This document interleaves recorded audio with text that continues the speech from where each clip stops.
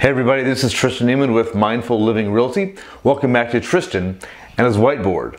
We're going to continue on today with the buyer series. We're going to talk about my story about why you should get a home inspection. I'm going to come at it just a little bit differently because I was actually representing the seller in this story.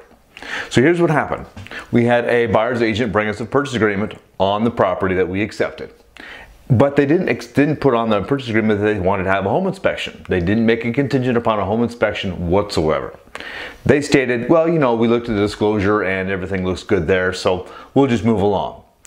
And I was kind of like, uh-huh, okay, that sounds great. And then, of course, they decided the next day to go look at it again with their father or their parents or something. And I called my son and I said, hey, this is what's going to happen. They're going to come back and they're going to find something wrong. Sure enough, I got a call that evening from the buyer's agent. Hey, there's this garage door problem and hey, it's supposed to be work, listed as working on disclosure, so blah, blah, blah. I'm just kind of whining a little bit about it. So I called my seller and I said, hey, you know, let's just give him some money here to get him to get it sold. And he was, of course, quite willing to do that. But my story here is, is that if the buyers would have had made a contingent upon that home inspection, they could have had a lot more things fixed than just that one thing.